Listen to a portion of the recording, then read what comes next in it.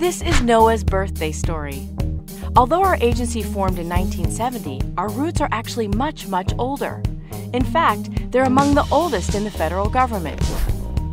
In the early 19th century, President Thomas Jefferson led a country that was largely unmapped and unexplored. By 1807, he created the Survey of the Coast to chart the seafloor and coastline. This was our beginning. By mid century, the nation was using volunteers to gather rain, temperature, and snow observations. But we also realized how helpful storm warnings could be.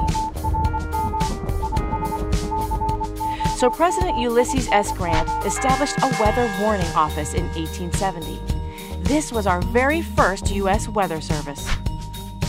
About the same time, people were talking about the importance of healthy fish and seafood.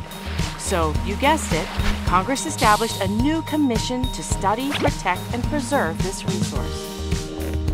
Things got a little complicated over time as the various agencies moved, merged, and took on new missions. Technology advanced, the country grew, and the scientific breakthroughs kept coming.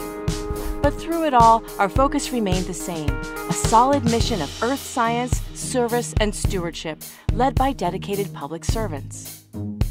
By 1970, it was clear that the atmosphere and a healthy ocean are linked, and a new agency was born the National Oceanic and Atmospheric Administration.